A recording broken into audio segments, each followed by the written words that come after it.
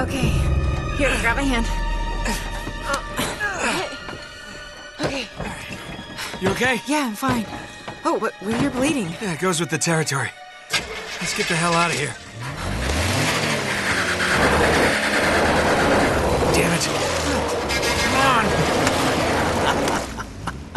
on. Going somewhere? Hey, Eddie. Did you really think you could escape from what? Oh, no, I just giving the young lady the $10 tour. Shut it! I bet you're working for them too. What? You thought you could set me up and keep everything for yourselves, hmm? Damn it! This guy's crazy. Eddie, take it easy, buddy. Well, you're out of luck now!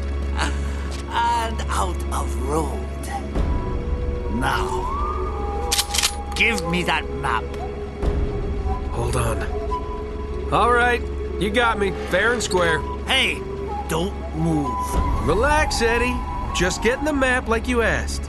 I said, hold on. I am. Well, hand it over. Well, now, you told me not to move. Looks like you're gonna have to come get it.